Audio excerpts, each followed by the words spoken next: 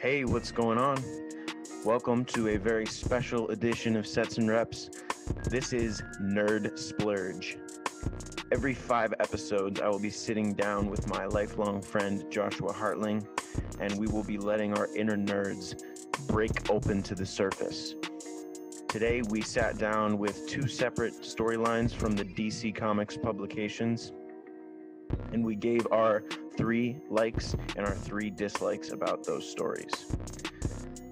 And not only did we do that, we also summarized the basic plot and just in general uh, appreciate each other's appreciation for the stories. And at the end of the podcast, we do a friendship quiz of our own design where we came up with three questions to ask each other uh, to see how well we know each other. So, every five episodes, we're going to be doing some variation of this episode where we will be discussing a storyline in some form. I encourage you to sit back, relax, and enjoy this special first edition episode of Nerd Splurge.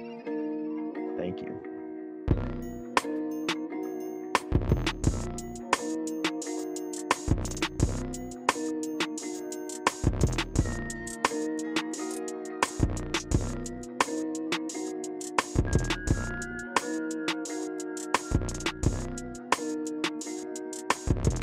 So Joshua Hartling, I have, I have you're my guest today, and I've known you since first grade, and I can't say that a lot about my friends. So I want to give you a very, very warm welcome to Sets and Reps. How are you this morning? I'm doing very well, thank you, Greg. It is an honor to be here, and it's an on you uh, honor to know you for more years than I can count. Uh, makes me feel old, but in a good way. Old, but in a good way. Isn't that the goal? That's That the is goal the in life. Uh, getting Uh, older beats the alternative. That's for right. sure. Getting younger. That would be weird. There's a movie about that called uh, The Curious Case of Benjamin Button, where I think a man is born an old man and then he, throughout life, he a- he like de-ages and goes Yeah, backwards. that's weird. I've never seen that movie and I don't think I want to. No. Although there is like scientific evidence that as you get older, eventually you start to revert back to like being a baby. Yeah, I mean, it starts with your your body and your height. I think your posture. You start to shrink, over time, you shrink, your body tightens up, and then you you. but even just like your mentality starts to become more baby-like as you get older. As you start like, um, just like the way you think. yeah, exactly. You, kind of weird. unable to process things. I'm actually learning. I'm learning a lot about that in school. With, with one of my classes, clinical conditions. We're just learning about some of the brain um, issues that happen, like you know, dementia and Alzheimer's, and that's a that's a sad topic that we're not going to get into too much. But yes, do start to revert back to your childlike ways. But one thing, one thing about my childhood that I don't think I'll ever give up is my love and appreciation for comics and superheroes. And uh, it's been one crazy year, I'd say, um, and a really good thing about reality is that you can escape from it sometimes. Yeah. Into comic book worlds, and that's something that me and you, especially, have been into for a long time now. I'd say. Um, so this is this this episode here. What we're gonna do is we've chosen two different stories that uh, we both. I think I think we've both read them before, but we've we've chosen to reread them, and this is an episode I'd like to. This is a, something I'd like to do with you every five episodes. So every five episodes, me and Josh Hartling will will meet up again, and we'll we'll choose a new storyline. And what we're gonna do is talk about three things we like about it, and three things we dislike about it. And it, my originally I was gonna do five likes and five dislikes, but the book that I have today uh, is just so uh, inspiring, and it's it's pretty it's pretty amazing to say the least. So it was hard for me to come up with five things I disliked about it. So I shortened that list and I came up with three things that I dislike about it. Hmm. um, how do you feel about the book that you read for today? The book I read today, um, this may become one of my new favorites. To be honest, it was very well written. Um, I don't want to get too much into it till we get to the the three likes and dislikes, but Sure. the book I read was it is called Identity Crisis. It's kind of a famous one. And which uh, Right which uh, which publication came out with this? This is a DC comic, so it follows the Justice League of America s- back in the the Bronze era. So uh, Oh, that's interesting. like So 90, that's, 90s. that's before the new 52, right? Yep. So like if any of you ever watched like the Justice League animated show growing up, this is kind of similar to that. Mm. Um, that this would be the era that the Justice League animated show was based off of. Okay, that's interesting. Hmm. Uh, personally, that's I think you got me into those shows originally. We Hmm. started with the animated series, uh, the Batman the animated series. I don't remember if you got me into that one or if we both just liked it at the same time, but I know that you definitely showed me Justice League and then eventually Justice League Unlimited. But yeah, Yes. these uh we can really nerd out when it comes to these topics but i think that dc in terms to marvel dc has a much better catalog of animated films than and animated Yes. shows than the marvel Yes. comics does for sure Marvel wins out in the live actions, but DC tends to win out in the animated shows. As a general rule, not not solid fact, but general rule. yeah so what we're going to do is we're going to take turns um First, I want to start off by um, each giving like a like a rundown of what our book was about, Mm, just like a yep. quick plot overview, right? I figured that was appropriate. Um, and I'll start us off, Mm. okay? And then you can Okay. go after me. So, my book was uh, Blackest Night, and this one was it had, had like a mixture of emotions throughout the whole thing and it and it starts off like in a very uh, dark place and what's what's kind of happened um, is that a lot of characters in the DC universe have died. Uh, they've been they've been killed, right? Mm. Um, for various storylines. Uh, this this one in particular, um, it's kind of it's it's not really mentioned what time period it is, and it's it's hard to relate it to any other major events that have been going on. But I believe that this story was written in the new 52, and it's right before uh, the whole DC rebirth, which was kind of their newest, uh, the newest retcon in 2019, right? That's when Yeah. rebirth came about. Um, so this, I believe, happened right before that. So all these heroes are are are dead, and what's starting to happen is that they're coming to life. And I know that you and I are both big fans of the Green Lantern Corps, and all of the different lanterns are featured in this novel, Mhm. and uh, including a new lantern, which is the Black Lantern Corps. And so these, yeah. So what's happening is all of these different characters are being summoned out of death by the Black Lantern Corps. Um, similarly, how the Green Power Ring will choose its new uh, warrior. This Black Lantern Ring goes around and seeks out the, the bodies of these fallen people. So the story bases around the main Green Lantern, Hal Jordan, and the Flash, uh, Barry. Actually, it might be Wally West Flash. Um, they're trying Should to be Barry Allen at this point.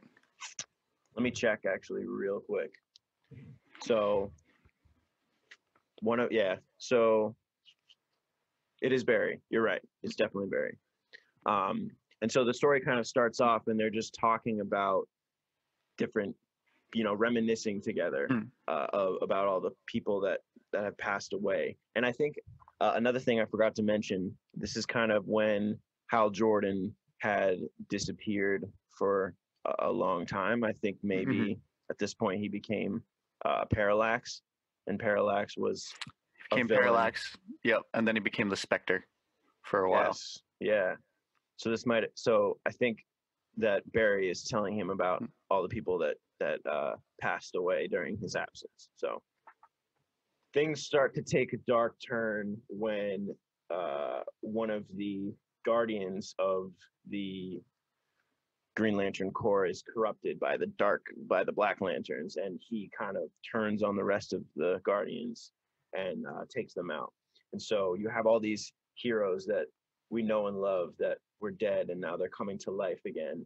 And it's not it's not that they're coming to life again, but it's almost like the Black Lantern rings are using them as like vehicles to to do their dirty work, right? To and and the goal is to just take over the world and and and get all of these creatures together and just defeat the light, right? The darkness here is really just trying to defeat any kind of hope and uh, and positivity.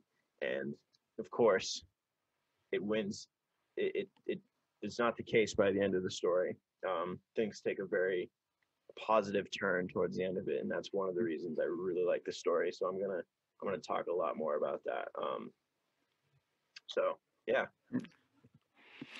tell me a bit. And and this this this was written by. Uh, I'm I'm just gonna go over who wrote it. It's Geoff Johns was the writer. He's written a lot of DC stories. He's one of the um, biggest names I think in DC publications, and Hmm.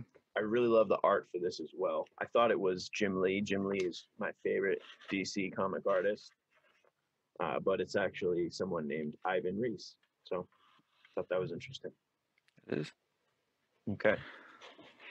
So I read Identity Crisis, which was written by Brad Meltzer and Rags Morales.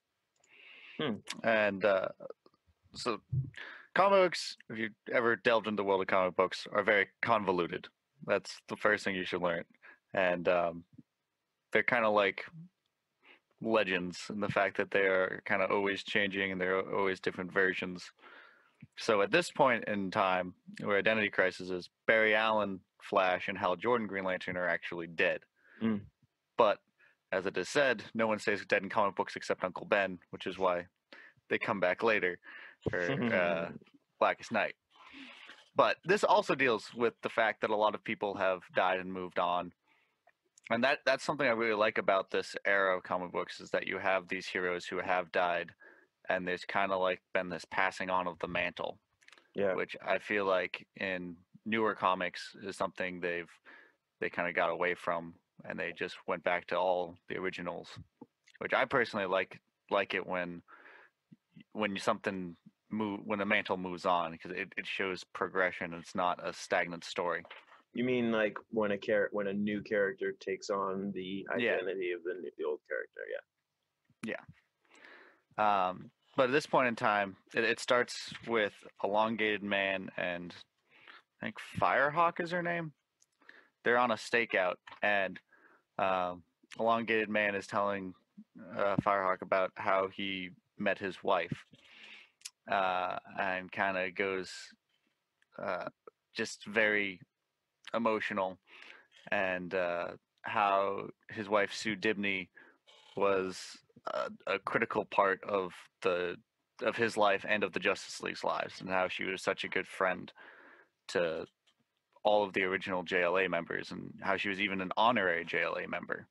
Mm. Uh, but at the very beginning, after that, there is a huge scandal, you might say, because Sue Dibney, his wife, is murdered right at the beginning, and instantly all these alarms goes off. Um, there are these protocols that have been set in place that to alert different heroes in different orders, and you have the pretty much the best of the best going in to try and figure out uh, instead of a crime scene, figure out what happened. You got Batman there and bring in all sorts of other heroes like magic guys as well, uh, and they're trying to all figure out what's going on. And the strange thing is, because she was a formal former JLA member or wife of a former JLA member, um, she has like the top notch security. They made sure that like her her place is pretty much impregnable, but somehow someone still got in to kill her. Hmm. And now Elongated Man had a public identity, which for DC is kind of unusual. Normally everyone has secret identities. But it starts this scare among the superheroes of okay, are people going to start targeting our loved ones now? And they're there it shows a very emotional side of these heroes as they deal with the grief of losing someone so close to them, but also trying to to make sure that they hold on to the ones they, they do love and don't let them go. Uh, don't take them for granted, which I think is a, a lesson for everybody, not just superheroes. Yeah. cool. Right. If you haven't hugged your mom and dad today, I definitely think that you should. Mm. It's a good good thing to do because you're never Um, guaranteed any any moment. Sure. Yeah. Absolutely. Anyways, go on. But going on, um, after Sue Dibney's funeral, they all go. A lot of the superheroes kind of go on the almost a witch hunt, not quite, but they they they're trying to hunt down all these different suspects to try and figure out who did it. But there's a, a small group of former JLA members who they're pretty sure they knew know who do it did it, and um, they they go after Doctor Light, but before they do, they're met by Wally West Flash and Kyle Rayner Green Lantern. And Wally West and Kyle Rayner kind of get the sense that something's something's not quite right with this group. Like they're they're not like they, they're not as open about it as they feel like they should be. And uh as they're talking, they, they kind of discover some dark secrets in the JLA's history where the reason they think that this this particular group, uh, which is Green Lantern, Hawkman, Black Canary, uh, Elongated Man himself, and Zatanna, um, why they think it's Doctor Light is because I guess years ago, back when there was Barry Allen Flash and Hal Jordan Green Lantern, there had been an incident on the Watchtower where Doctor Light had broken in and actually attacked. Uh, it doesn't explicitly say, but I'm pretty sure he he raped Sue Dibney, um, which is Wow. pretty dark. Yeah. But um, the these heroes who who got they they the seven group of seven of them got there back to the Watchtower and were able to stop Doctor Light, but uh, they were scared that he, he wouldn't stop that he wouldn't stop until he like he would just continue to specifically target their their loved ones and try and hurt them and so they made the decision to alter Dr. Light's personality which uh, using magic which a lot of the mainstream JLA members would consider that a big no-no and crossing a line Interesting. And there there was a vote that was taken, and I guess it came out four to three to alter Doctor Light's personality, and uh, they did, which is kind of a, a weird thing because Green Arrow is part of that situation, and he he still allowed um, it to happen.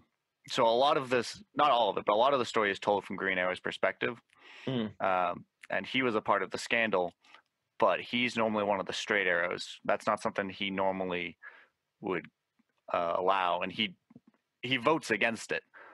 But when you know we're talking about it all these years later, he's kind of defending it to to Wally West.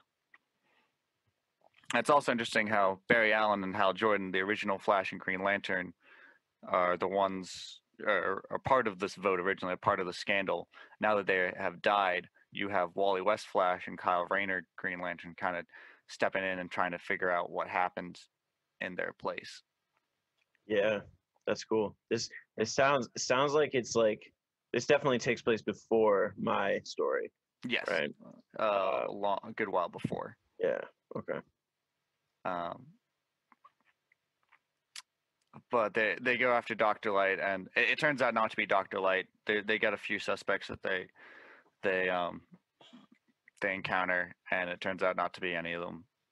And uh, spoiler warning. I'll get to the to the end part now, but Hmm. eventually they do find uh, out who it is. They perform an autopsy on Sue Dibney's body, and uh, at first it looks like it was arson, like uh, her body was burned. But then they realize that she was actually killed before the fire, and um, they they find this uh, impression on her brain where someone uh, somehow um, blood flow stopped getting to her brain, and then they notice that the impression is actually footprints, which leads them to believe that it's it's the atom or someone close to the atom, someone who can go molecular. And That's uh, interesting. That ties in. That ties in a little bit to my story. Yeah, it's it's pretty crazy. And so they they go to confront the Atom. Well, Batman figures it out even before anyone else. But it wasn't actually the Atom who did it. It was his it was his ex-wife, uh, Jean Loring, who uh, ha- still had access to one of the Atom's suits, and she used it to uh, attack Sue. Uh, didn't mean to kill her. Killing was an accident, but uh, her her mentality is it. It's kind of sad. Also, I don't know how I feel about this. I thought it was kind of dumb, but kind of cool. Um, she was trying to like get back with the atom. That was the whole point of this. She wanted to get back with Ray Palmer, and so she, The what? The the Jean, ex- Jean Loring, the one who attacked Sue. Yeah, Yeah. she if she figured that if she attacked Sue, then all the superheroes would start caring more about their loved ones, and that maybe that would send Ray Palmer back to her. Wow. Which I'm like, I don't know how I feel about that. That's blurred. Lines are blurred a little bit there. Yeah. It also kind of implies that she was going crazy because she ends up in Arkham at the end of the story. Yes, Arkham Asylum is the uh, home for the criminally insane in Gotham City. Yes, and it's it was kind of an insanity is kind of an overused trope in DC Comics. Not gonna lie, but Yeah. uh, it still still was a very interesting read, and was good. I liked that it showed a lot of humanity in the the heroes. Uh, kind of when you when you if you first get into comics back in like the silver silver age, they're very actiony, but they don't have a lot of like character emotion to them, and that's something that the Bronze Age really tried to bring in, and they do that especially well with Identity Crisis, is kind of putting some humanity to these heroes and getting getting to know the people behind the mask, and that they you know they have real struggles and real pains, and just because they're superheroes doesn't mean it's any less than a normal person's. Yeah, the writers do really well with that, especially with the dialogue and how they have characters interact and what they say. Hmm. And uh, with the so many characters having been departed of this having died, it's cool to see, uh, like, like with Wally West confronting Green Arrow on this whole scandal, he he's mad about it. He wishes it hadn't happened, but at the same time, he is trying to preserve Barry Allen's legacy because that was someone who was a big mentor to him. Um, Mm. And then there's a, a snapshot where you get to see Green Arrow meet up with Hal Jordan as the Spectre, and they kind of have a cool conversation uh, because Hal Jordan knows who, who it is because he is the Spectre, the Hand of God, Mm. but he's not allowed to divulge the information. Wow. But it's cool kind of to see the humanity there as they both like they were really good friends, they still are really good friends, but there's this pain that know Hal Jordan knows and he can't tell Green Arrow. And Green Arrow's kind of mad about that, but it, it's more just it's this pain. Uh, it's something you don't always see in comic books. Yeah, for sure. Just again, just what you were saying, Mhm. people behind the mask, their true emotions, their true feelings. Yeah, Good. Is that one of your that's one of your likes, right? The humanity? Yes, that is probably my number one like from this book is just the the humanity you get to see behind the the masks in this. What about number two? Number two, uh, honestly, I, I like how it's told from the perspective of Green Arrow a lot. Green Arrow is one of my favorite heroes, and I think it's very interesting having this guy who is very upright uh, tends to be very upright, tends to be very by the book. You know, he's he he's he's the guy who doesn't kill. He doesn't cross the line. Right. But you see him in this position where he's still trying to cover up the scandal because he feels like that's that they made the right call in the situation, even though he didn't like the call. He thought it was the best call, Mm. and uh, it's yeah, it's just interesting to see him struggle with that. A, a, a generally good man having done something wrong in a in a no-win situation, really. He's got. Uh, he's generally isn't he portrayed as uh, Green Green Arrow? Isn't he portrayed as just like being like very simple, like average guy? Like Yeah. he, he's not. He he does. It doesn't seem like he's He's very much about the little man. Yeah. He's very he's very much about protecting the guys on the streets. He's not really about uh, taking on the huge galactic uh, villains. I mean, he will if he has to, but Mhm. he he more likes to leave that to like Batman, Superman, and essentially he feels like a lot of the time the you know the average person can get lost in the huge galactic events because it's comic books, so those happen all the time. but uh, There's always some city getting attacked by aliens. Exactly. Um, but he's very, one of his traits is he's also very caring about um, just his fellow superheroes, his fellow soldiers, or friends. I don't know. Um, Yeah. Very good. Yeah, and so that's it's cool to see. I also, I guess, also on that note, similar, it's cool to see Batman show a bit more emotion because uh, he's someone who's normally considered very stoic, um, but as he gets older, oftentimes he is portrayed as getting a little softer, and that's something you see here is the um, like he he is sad. He he can relate to the loss because he knows what it's like to to lose somebody close to you. And Yeah, there's absolutely. there's one really cool scene at the towards the end where he's actually at his parents' grave and he's asking them to take care of Sue Dibney and another fellow who died during the story. And Wow. you just get to see some compassion from Batman, which he he he's classically one of the most compassionate characters who never shows it. So it's cool when you get to actually see him caring. Yeah. That's very cool. Hmm. I like that as well. All right. Tell me your last like, and then we're gonna start talking about your dislikes. My last like, honestly, my last like for the story, um, just at the end they talk about having dinner with each other, which I uh, again another thing that just shows their humanity is cool. How you have like, it's a few different cases, but you just got like several characters, these big superheroes just getting together just to have a meal. And I'm Hmm. like, that's so cool because like that's just something I would do with my friends and it just shows that these guys they're not just they're not just like fighting together they're also friends and they really care about each other as individuals and Awesome. you know it, it's definitely you know forged by having fought together for so many years and having been through so much together and a lot of them have experienced loss together but it's um it's a real friendship it's not just a professional relationship Good. so that's that's my third like. As for my dislikes, um, It's hard to come up with them, right? it's gonna be hard to come up with them. I think the my major dislike here is just kind of the the twist at the end where it's Ray Palmer's the Atom's wife, Jay Loring, uh, Jean Loring. Her whole motivation is to get Ray Palmer back. I thought was kind of silly, but at the same time, I also thought it showed her kind of another side of their humanity. So I don't know, like, I don't know. I feel like maybe it could have been done better, Mm, but at the same time, it wasn't the worst. I kind of, I kind of see the benefit of why they did it that way.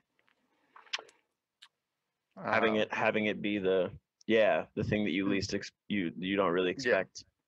Yeah, you would never expect her. Um, uh, having her go kind of insane at the end, I thought was kind of. It, it's a trope that, like I said, it's a trope that's overused in DC Comics. Um, Yeah.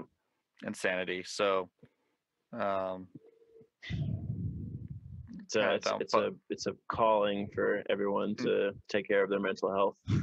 I yeah, which is important, but um, yeah. Uh, I guess my the second complaint I have, which is something I generally have with comic books, is I feel like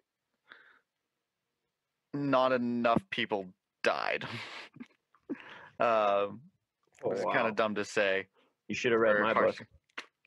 Yeah, I should have. Um, but you have like this huge battle going on, and like pretty much everyone comes out pretty much okay. Like in the whole whole book, only two heroes die, two heroes and one villain, and um, that's actually actually come to think of it, I think all these people stay dead. Because that's one of my biggest complaints with comic books is they kill off people and then they bring them back to life. Um, so maybe that isn't actually a dislike. Contradicting yourself, are we? Uh, No, maybe I'm I kidding. I think I might be actually.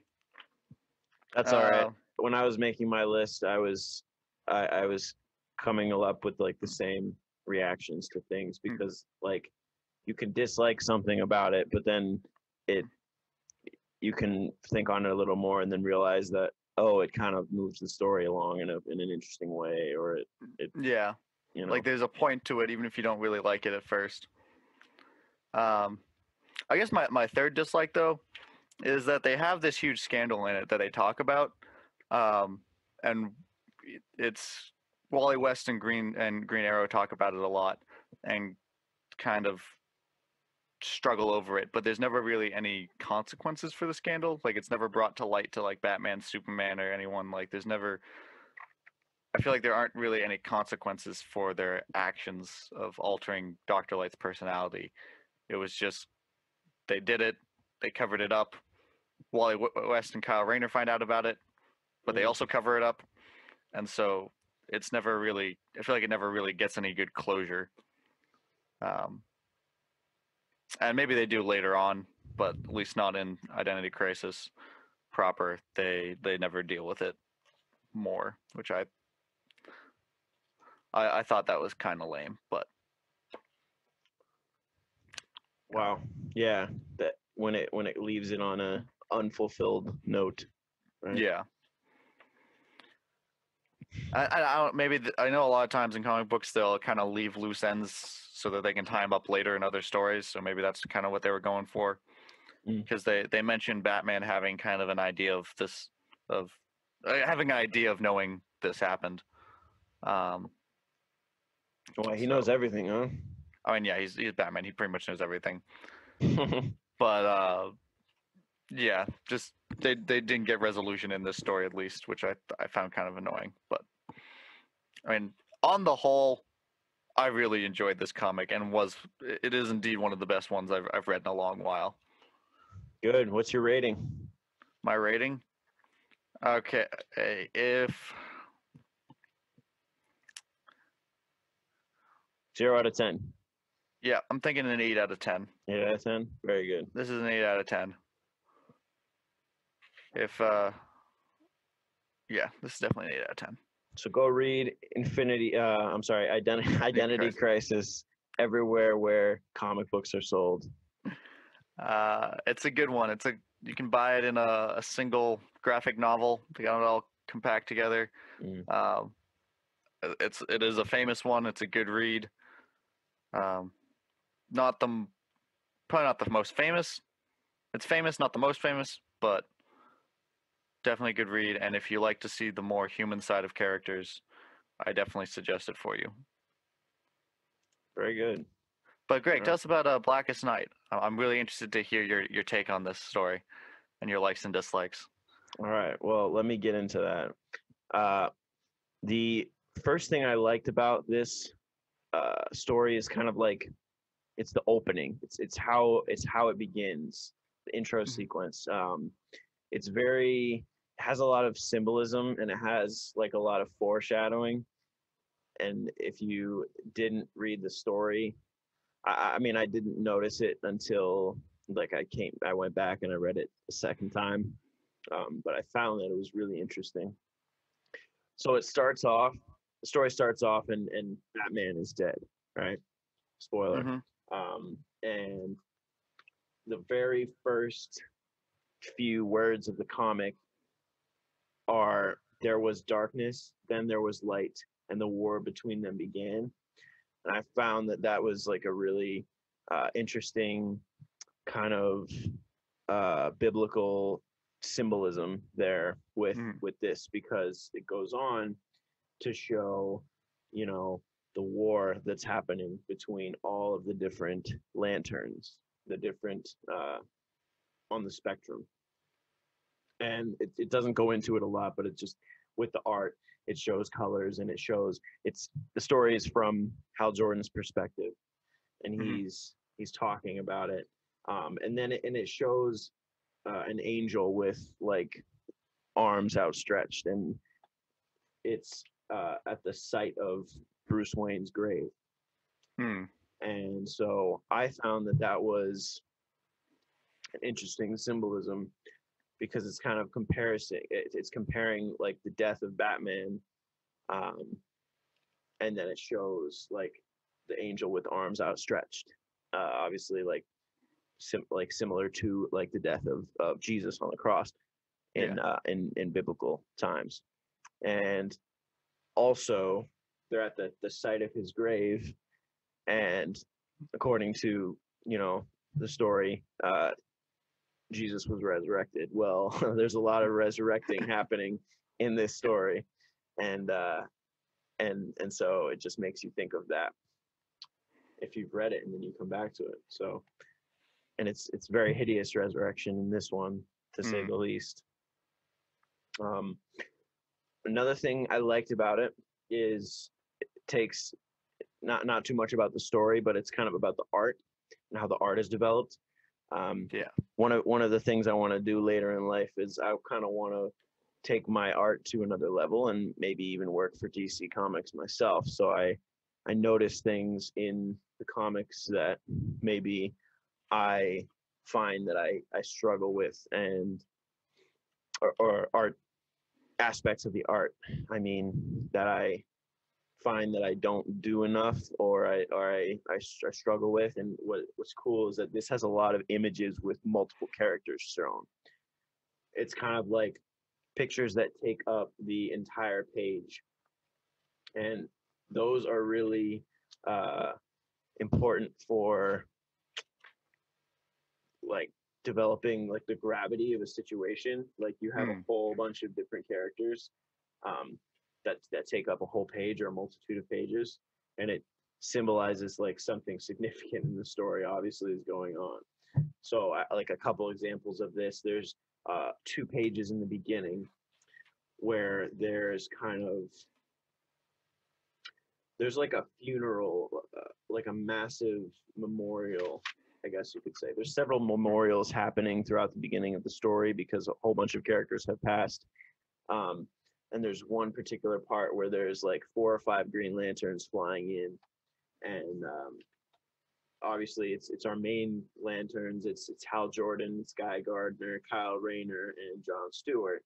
And there's only four of them but they take up the entire page and it's just all focused on them and there's Hmm. uh, military jets flying in the background and there's fireworks going off and it's just a really really vibrant picture. And then you know there's also a part where Hal Jordan is talking to Barry Allen about all the people that died, and there's another Mhm. two pages that are taken up where he's just got a, a construct from the Power Ring, right? You know, we we Mm. know we know that Green Lantern's power is that he can create anything that he wills into existence with the Power Ring, and he's just telling Barry Allen all of the people that died, and everyone is just shown on this image, and even the characters that are small are shown in great detail.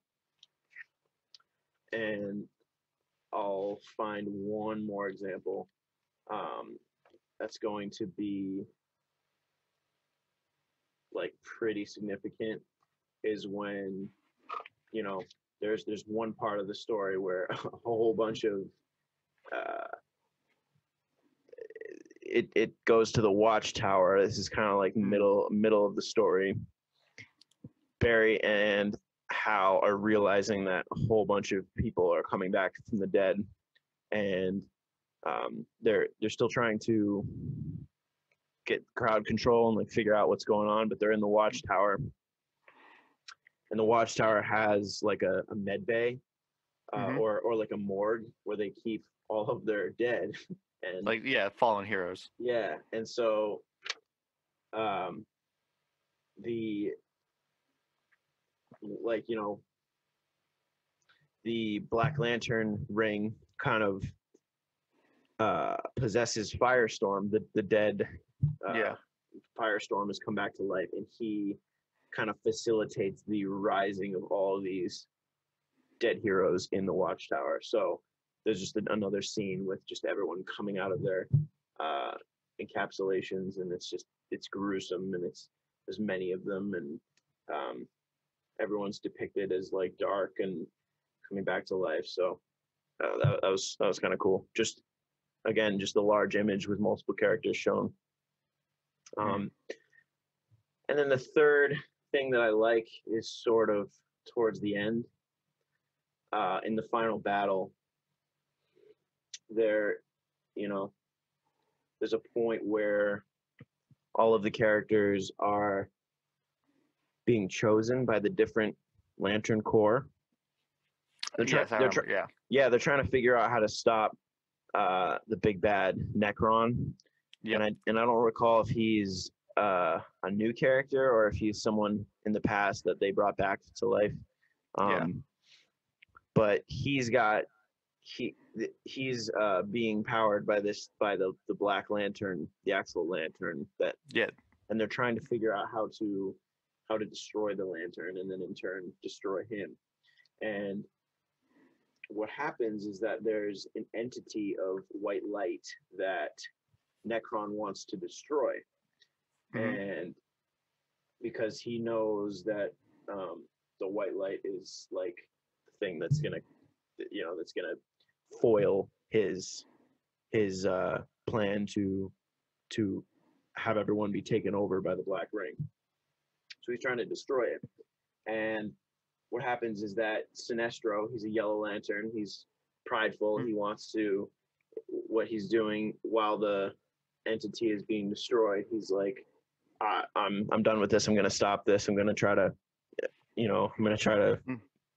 fix this um on his own. yeah because how because how at this point all of the lanterns are uh together the different ones they're working together which is also kind of cool I, I had that in my larger list but i had to get rid of it Mm. um the green lantern the yellow lanterns the indigo tribe the red lanterns they're all working together because they have a common enemy now that's trying to destroy the earth um the and so- galaxy, even right? galaxy yeah so sinestro becomes a white lantern by taking by by uh by throwing himself into this white energy but it it's fine it's found that it's not enough like he's not powerful enough to to stop nekron even nekron finds a way to uh take the power away from him. So what ends up happening is that everyone all of the characters end up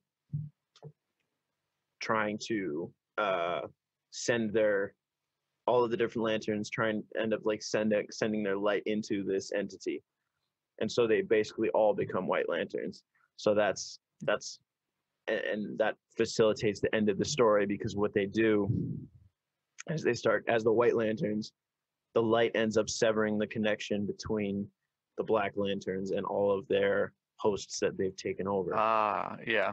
so all of the people that were dead end up coming back to life. And throughout the entire story, whenever the Black Lantern ring takes over a new host, you can just see a little uh, speech bubble and it just says rise, rise, rise. Um, you know, Ray Palmer, rise, Sue Dibney, rise, all these characters. but at the end of it when the white light starts taking over and brings everybody back to life it says. Did, does does the White Lantern bring Sue Dibney back to life? yeah Because Sue she dies in she dies in Identity Crisis. that's what I was saying that that um that uh that it, it was tied into the story a little bit That's kind of cool. and when when those characters come back they try to it's weird they again it's not the real person it's just the black lantern but they know what went on in this person's past so they Hmm. Speak to the person who's already alive and they try to and they try to make them feel guilty about what's happening as they as they kill them and eat them you know so it's, it's pretty Hmm. interesting um but yeah then when the white lantern kind of takes over everything it says live and that's different from rise so Yeah. um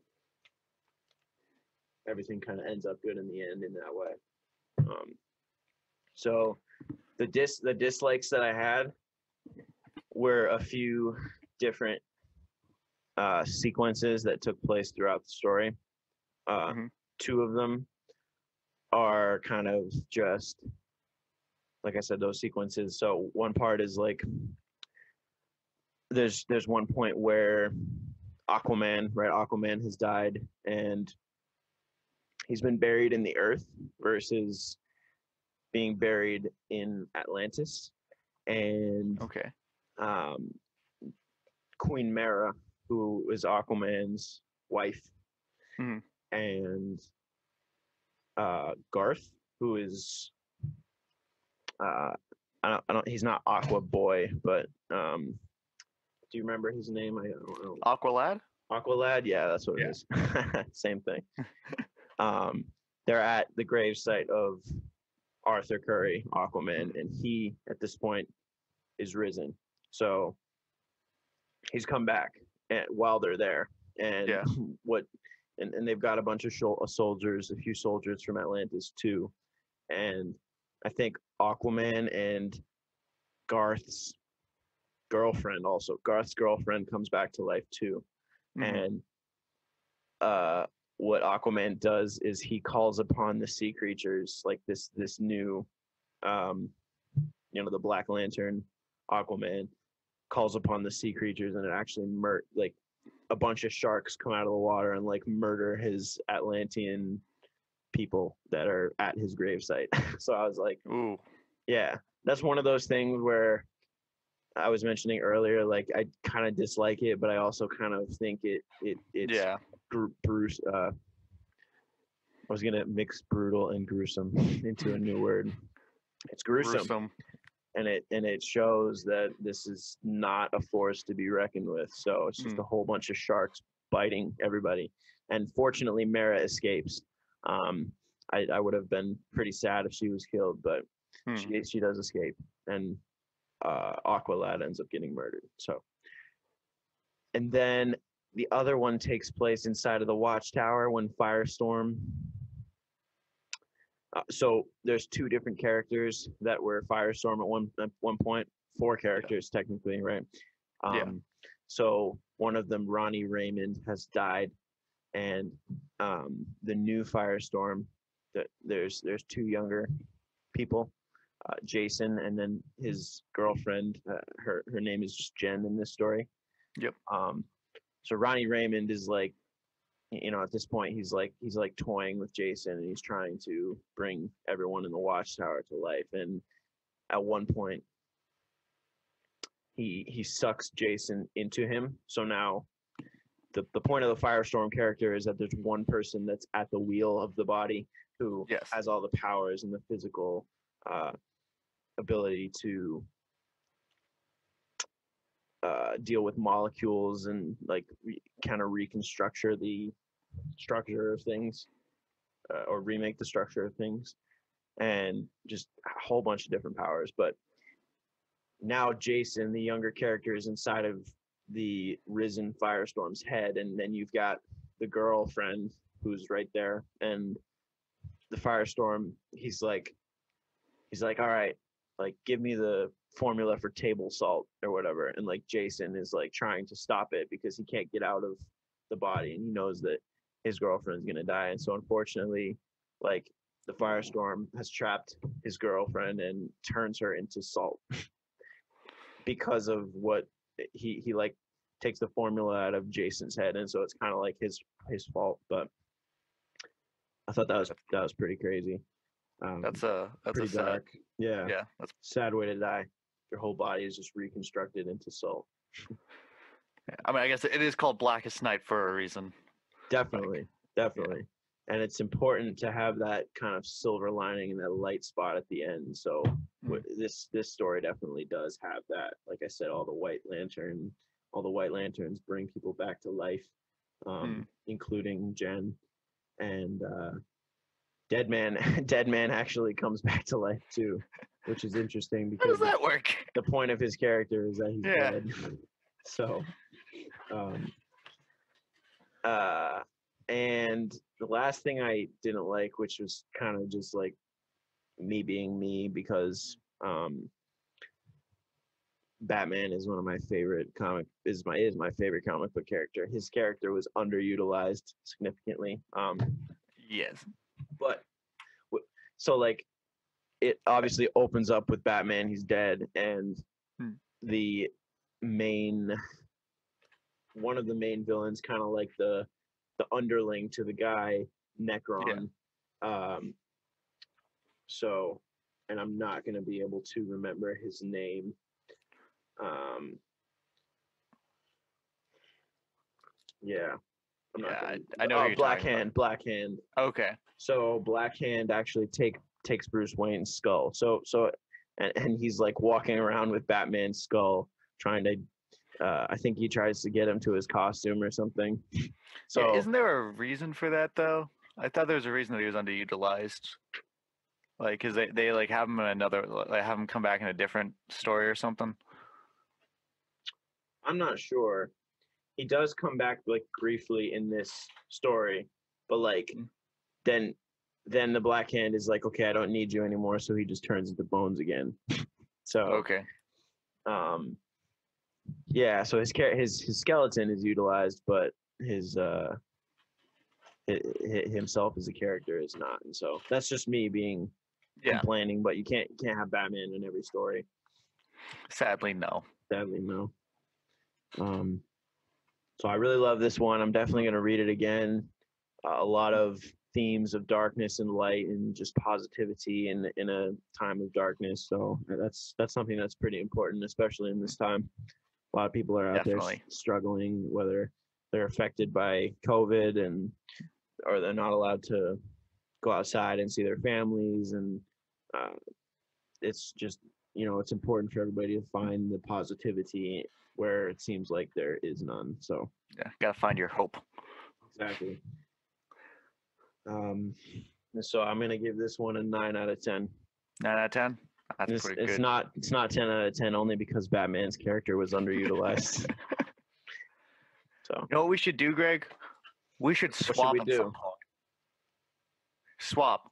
So like I'll, I'll read Blackest Night. I did I read it once a long time ago, and you read Identity Crisis, and we can kind of not go as in depth because we we've already did that here, but maybe give just like brief thoughts from each other's the the yeah, the comic books perspective. Yeah, that's a good idea. I think that's something that we should maybe do outside of this podcast. But what I what I had only because of what you were saying, we both just Yeah. went in, into it in depth. But I wanted to maybe talk about what we want to read in the future when we do this again in uh, in five episodes. Um, yep. I think that I want to revisit the Long Halloween Batman storyline because I've read that uh, twice, I think, when I was younger, and it's been about like it's probably been a good like five years maybe since I read it, four years. Um, and the new Batman film starring Robert Pattinson and directed by Matt Reeves is loosely, probably most likely going to be based on that story. Oh So hell. it would be a good idea to to re go over that one because it's one of the most famous. Um, I think for me, I'd probably want to revisit Infinite Crisis because that is that actually s- shortly follows Identity Crisis, and um, it's just been a while since I've read it. It's really good. It deals with um, I remember it dealt with some some interesting concepts because it, it ties back to Crisis on Infinite Earths, which is kind of like the ADBC mark for comics, or at least DC Comics, where a lot of a lot of things changed. Mm, Um, but So it ties have a- back to the, sorry, go ahead. it, it, ties back to that point and it uh, uh, it brings back some old faces that haven't been seen in a long while and uh, has some interesting uh, interesting concepts so that i think is the one i'd probably want to hit up next Cool. I have a copy of that on my bookshelf if you'd like to borrow it. I actually have a copy of it on my bookshelf Oh, very good. thank you for the offer my friend Sure. much appreciated So to to finish up before we get out of here, uh, because I've known you for so long, Hmm. I thought it would be appropriate to ask, come up with three questions that each of us can ask each other, kind of as like a friendship quiz, if you think about it, to see how well we know each other. Okay Um, so I have three questions here. You probably have a few questions in front of you. i do Um, why don't we just go back and forth one at a time, and we'll and we'll, and we'll do those. All right. it sounds so- like a very good plan I'm gonna start off with an easy one for you. okay Which easy one? pop? Yeah. Which pop culture character have I been doodling on my homework pages and notes since the second grade? Uh, oh, since only the second grade? I think so. I don't know if in first grade I knew he existed. Maybe. Wow. I mean, it's it's the guy you're talking about. It's the reason that Blackest Night only got a nine out of ten. It's Batman. Ding ding ding. Very good. It's Batman. Correct. Yeah. uh, I, I think my my uh, if I ever do get around to working for DC, my submission or commission to get them to realize what kind of talent I have is, is my my perfect image of Batman. That's that's a he, life he has goal. been perfecting this. For, he, he's he's not joking. He has been perfecting this since the second grade. And like, he he can draw Batman so well. When we were in, I, I just remember when we were in high school together. I'd look over and he'd be taking notes. We well, we'd both be taking notes, but like just in the margins of all his papers, there'd just be Batman. That's probably why you ended up. least a, a couple of them. Yeah, a few of them. Yeah, just different head shapes. Only the head. Yep. And that's probably why you got the better grades than I Oh, did. probably. But you might. I think you might have gotten more out of high school than I did. I think I appreciate it. I appreciate it. Thank you, Josh. Um, here's to hoping. Here's to hoping, indeed. All right, what do you got for me? Uh, uh, on the on the question of comic books, um, I want to know, do do you know who my favorite comic book character is? And uh, what my favorite comic book is, because they're they're they're tied together. I'll, I'll give you a hint there. Is that two and one? That is two and one. I, I'm cheating. Oh, I have an idea. I have an idea. Um, I think I'm gonna get one of them right and probably the other one wrong, or both of them wrong. And if we get these questions wrong, it doesn't mean that we are not. Uh, it doesn't mean that we're not one of each other's best friends. It just means that we, We uh, still got more to learn about each other. still got more to learn about each other, and it's kind of early in the morning. um, so I'm gonna go with Superman. Oh, yep, you got that. All right, got that. And I'm going to go with. I actually don't remember what it's called. Um, is it Doomsday? Like, is it the Superman Doomsday story? Uh, Right on again. It's Death of Superman. Death of Superman. Two good. out of two right there, even with the cheating question. Perfect. yeah. nice. As much as uh, as much as Greg's like Batman, I I I love Superman. I cannot draw him as well. I am not an artist like Greg. I, I'm sad to say. you're the mind. You're the mind behind our uh, I, our, I our have superpower duo. I I got a good mind, but I got bad hands. That's all I got to say. But uh, Superman is one of my favorites. I know it's kind of a, a classic, maybe overused, but I really do like kind of the lawful good, uh, shining, shining knight who always, you know, does the right thing even in the hard situations. And I think uh, Death of Superman particularly shows that because uh, it, it's just cool to see him without his powers but still being a hero. Yeah, and I I appreciate about Superman. that's a good one, and I think the um, a couple. There's just like a, a few films that kind of took inspiration from that one, and like some animated movies Yeah. that were taken inspiration from that. So it's a very significant story in his, obviously his, uh, Hmm. The mythos of the character. and just honestly one of the best stories I've ever, comic book stories I've ever read. So if you want a good one, it's four volumes. Well, technically five, but the fifth one is kind of an add-on. But um, it's very, very good. Okay. Uh, what you got next for me, Greg? So, which fantasy story? Uh, that's probably a giveaway. Have I only seen the film rendition of? Oh, So- uh, Lord of the Rings. correct. Still yeah. haven't still haven't fully read the book. I'll, I'll send you the audiobooks, my bro. You did. You did send me the audiobooks. They're they're in uh, Google Drive format, I think, right? Yeah, you just gotta download them. Use uh, well, I think f- free audiobook player or smart audiobook player. I think maybe it's called. Okay. Use 'em. Uh, we can talk about that after the podcast. Sure. But uh, on that note, uh, name uh, can you name a historical figure that I'd want to go out to dinner with or like get a meal with? I swear I had this written down before. my God. A historical figure that you would want to go out to dinner with. Yeah. To like have a meal with. We get, you get to talk to. Living or dead. living or dead so this per this person can still be alive Well, th- Oh, there's like multiple answers to this one. this isn't answers. like okay oh okay all right Yeah. let's see that makes me feel a little bit better yeah. abraham lincoln Actually, I don't think I don't. You wouldn't want to go out to dinner with him It wasn't someone I was thinking of. Like, I guess I don't go wrong. If I had the opportunity to go out to dinner with Abraham Lincoln, I would definitely take it. here i'll But- give i'll get a sec I'll, I'll get a second one Give, yeah, give it a second one. uh george washington Yes, George All right. Washington is someone I would definitely go out to dinner with. all right George Washington, one of my my favorite historical figures. who else were you thinking of Uh benedict arnold no, not Benedict Arnold.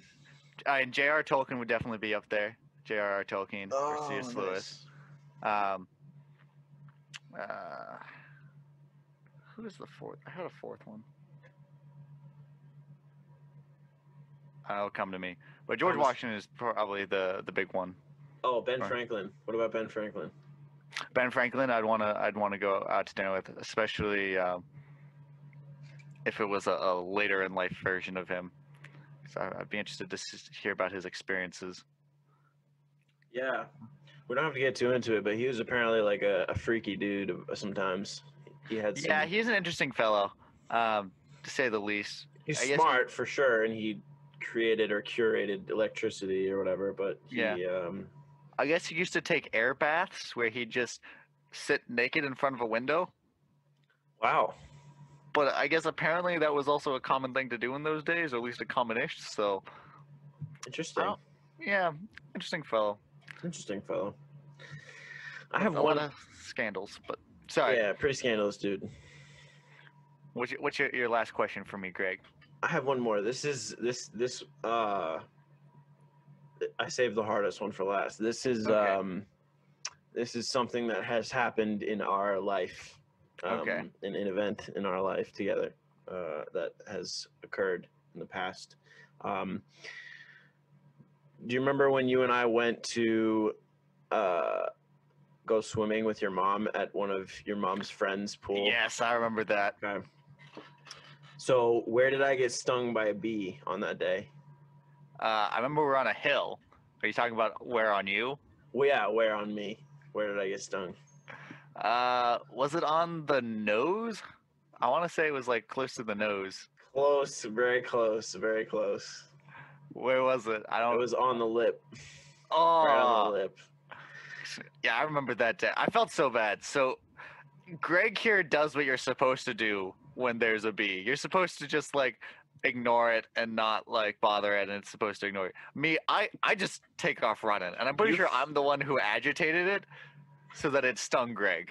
Yeah, I think you were freaking out and like jumped into the pool and then splashing water everywhere, and then that was just zooming around. And then obviously, like I think we were both what like We 10, were in like L, yeah, we were in elementary school. I don't even know, maybe eleven. Um, and I was just I was freaking out because you were freaking out. So, and then uh, your mom like your mom like tried to put like dirt on my lip or something to to make it feel better, but I don't know God if it felt better. I love your mom. She always means well. I'll, I'll give her that. Yes. Mom, if you Alright. listen to this, I do love you. I, I really love you.